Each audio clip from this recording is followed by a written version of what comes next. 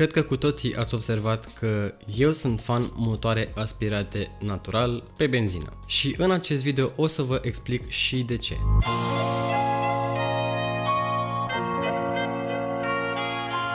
Aș vrea să încep printr-o mică analogie. Hai să asociem motorul aspirat natural cu un vegetarian. Și hai să asociem motorul turbo, motorul turbo care totuși nu abuzează de potențialul maxim al mașinii. Un motor turbo de genul uh, turbo benzină de 150-160 de cai putere. Asociem motorul ăsta cu omul care mănâncă foarte multă carne și foarte multe mezeluri. Și motoare forțate, din punctul meu de vedere, precum cele de la Peugeot, 1.6 de la Peugeot RCZ-R sau 308 GTI sau GTR sau cum se numește, nu știu exact, Motor de 1.6 de 270 de cai putere. Este exagerat de mult. Omul vegetarian va tinde să fie mai, mai slab. Nu are la fel de multă energie sau depinde ce mănâncă și cum mănâncă. Va tinde să mănânce mai des. Nu este atât de vioi, nu este ca un sportiv de performanță, dar este mai sănătos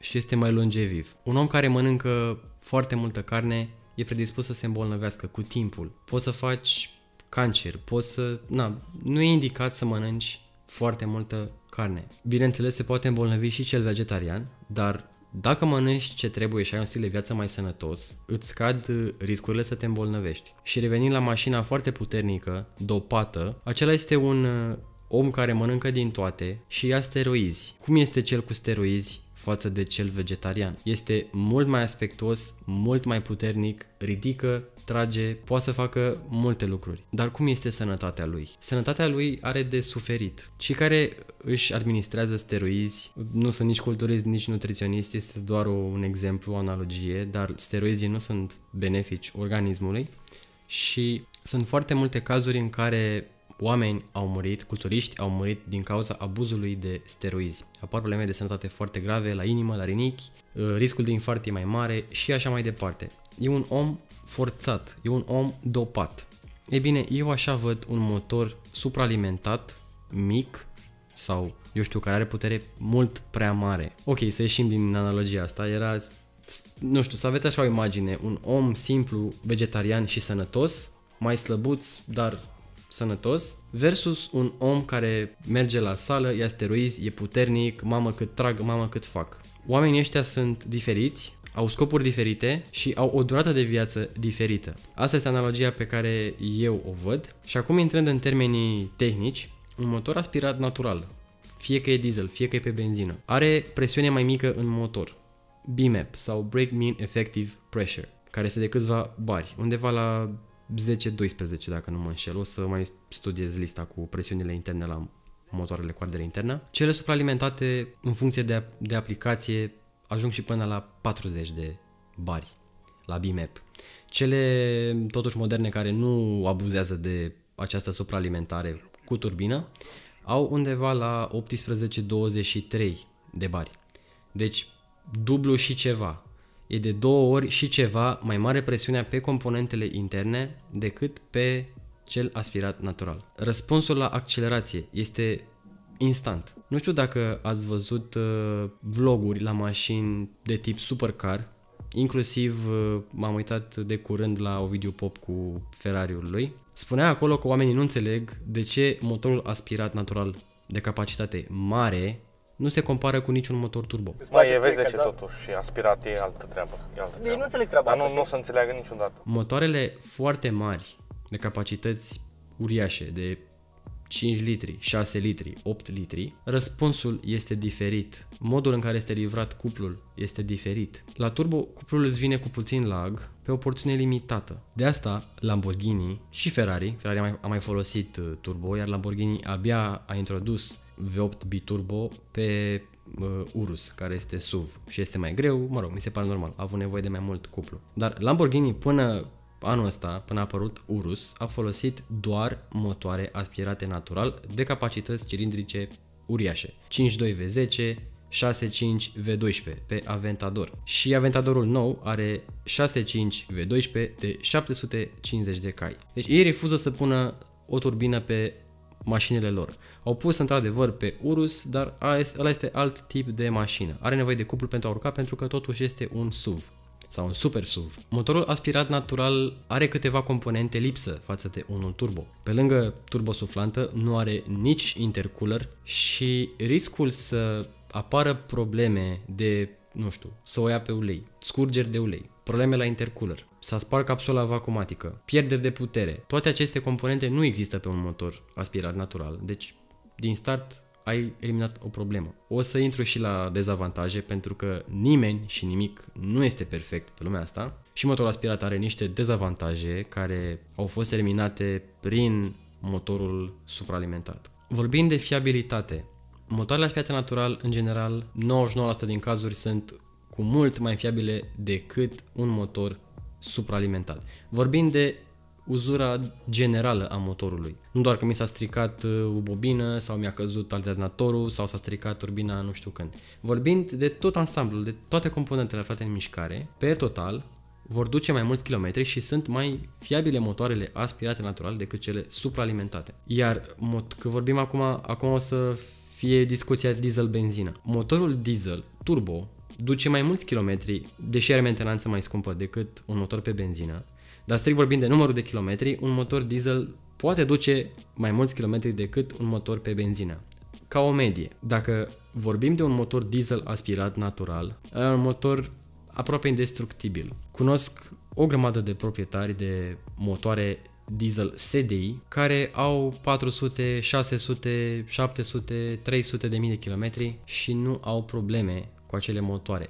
Nu mănâncă ulei, consumă foarte puțin dar sunt extrem de puturoase. Ăsta este dezavantajul unui motor aspirat natural de capacitate mai mică. Nu are viață în el. Este limitat. În special la turații joase este limitat. Datorită acestor factori, fiabilitate, simplitate, răspuns al accelerației, eu rămân loial motorului aspirat natural. Cât se vor găsi. Și sunt și fan al motoarelor pe benzină Mazda care au un raport de comprimare de 14 la 1, foarte economice, foarte fiabile. La anul cred că o să avem și motorul cu compresie 16 la 1, primul motor pe benzină care va merge și prin compresie, o jumătate este benzină, o jumătate este diesel, dar alimentăm cu benzină. Va fi, va fi foarte interesant, abia aștept să apară, chiar sunt curios ce cifre o să aibă, cum se comportă pe stradă, cum se conduce, cât de eficient este, cât consumă. Având un raport de compresie 16, adică exact cât are un Golf 6, 1.6 TDI sau 2.0 TDI cam în rail, mă gândesc că o să fie economic. Ei vor să combine avantajele ambelor tipuri de motoare și cine conduce Mazda cred că este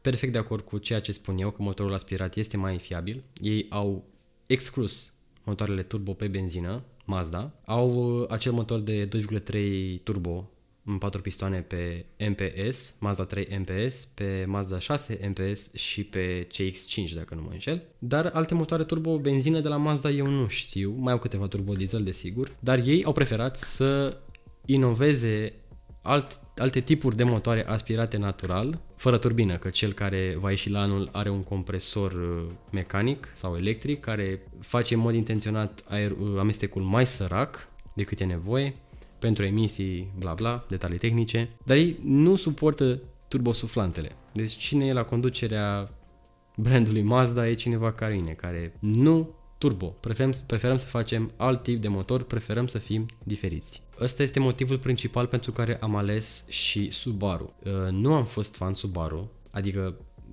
m-ar fi tentat ideea de un Subaru pentru tracțiunea integrală despre care deja știam că e foarte bună și eu doar mă uitam întâmplător pe internet, mai exact pe OLX, mă uitam de mașini japoneze într-o zi și când am văzut câți kilometri are și cine deține această mașină, cineva care stă plecat și se vedea după voce că stau de vorbă cu cineva care are educație, am zis că totuși merită, indiferent cât o țin, 3 luni, 6 luni, un an, 5 ani, habar n-am. Și văzând cum e cu tracțiunea asta integrală pe asfalt, pe uscat, pe ploaie, pe zăpadă, mai ales pe zăpadă, și cum s de motorul boxer, m-am îndrăgostit de acest uh, brand, cu toate că este prea simplu, parcă este prea simplu, îmi lipsesc anumite dotări de la Audi și de la alte branduri.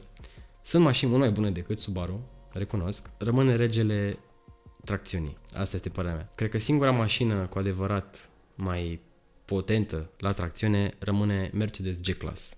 Asta este părerea mea. și câteva mașini care de bineînțeles vin cu reductoare. Exceptând asta pentru autoturisme, uh, crossovere și SUV-uri cu care să mergi prin pădure, Subaru rămâne numărul 1. Și cum spuneam, principalul motiv pentru care am ales Subaru a fost că era un motor mai mare decât ce aveam eu, de la 1.6 la 2 litri, mai puternic și avea foarte puțini kilometri. Astea au fost singurele două motive pentru care eu am vrut această mașină. Și acum să discutăm puțin de defectele sau lipsurile motorului aspirat natural. Evident, lipsa de cuplu. Motorul aspirat natural are cuplu maxim începând de la 3000, deci ba chiar mai târziu de 3000, motoarele care au putere foarte mare dintr-o cilindră mică, precum Renault Clio RS, precum Honda Civic Type R, precum multe motorizări de genul acesta, au cuplu maxim pe la 4500 5500 de rotații pe minut. Cu toate că el nu variază foarte mult, asta e frumusețea lui, rămâne liniar, se și simte în mașina când accelerează că rămâne liniar, pe când la turbo e așa, accelerează la podea, puțin lag, boost de te împinge în scaun, ține, ține, ține acolo cu tine și pe aia începe să scadă. Dacă ai două turbine, treaba e mai ok. Ai una mai mică, una mai mare, una la turații mici, una la turații mai mari, se diminuează lagul și își menține mai mult timp cuplul maxim pe plaja pe întreaga plajă de turație. Un alt minus ar fi eficiența scăzută. Motoarele de generații mai veche aspirate natural sunt ineficiente. Inclusiv motorul Boxer este ineficient, consumă mult. Sunt motoare de 2 litri pe benzină, cum au Mazda, aspirate natural, care consumă puțin. 6, 7, 8, 9. Eu la Subaru vorbesc de consumuri de 14-15 în oraș, mers normal spre puțin sportiv, și la drum lung, dacă merg ultra economic, îmi scoate 8%, dacă merg cum am eu chef, consumă 9%, la drum întins, extraurban sau pe autostradă.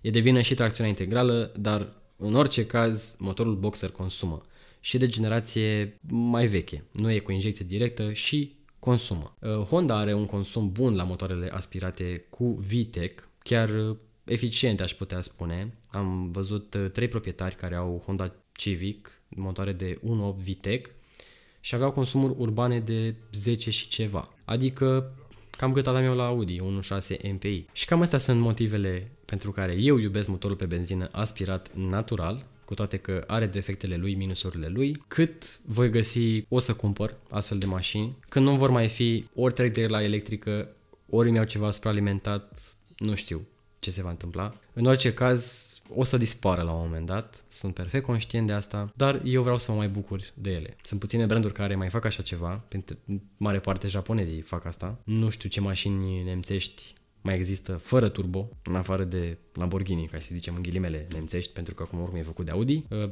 R8-ul cred că rămâne cu 5.2 V10, în rest nu știu ce mașini mai sunt cu aspirație naturală. Păcat!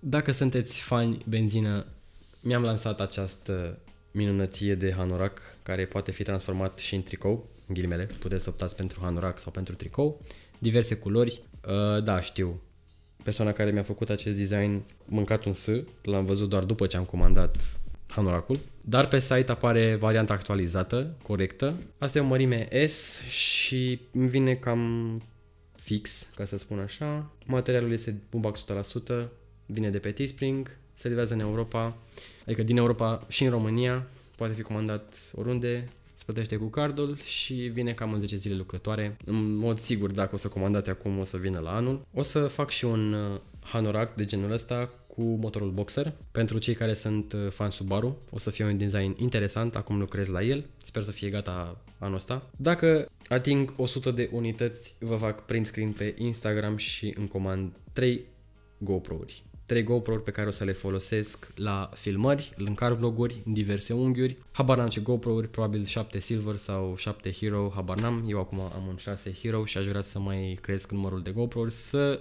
mă filmez din mai multe unghiuri, să nu mai fie boring când vorbesc în mașină. Sau cine știe, dacă am nevoie de niște cadre exterioare. Banii pe care o să-i încasez din acest hanorac se vor duce exclusiv în canalul 99 Vehicles. Dacă aveți și alte nelămuriri, avem rubrică de comentarii. Vă mulțumesc și ne vedem în următorul video.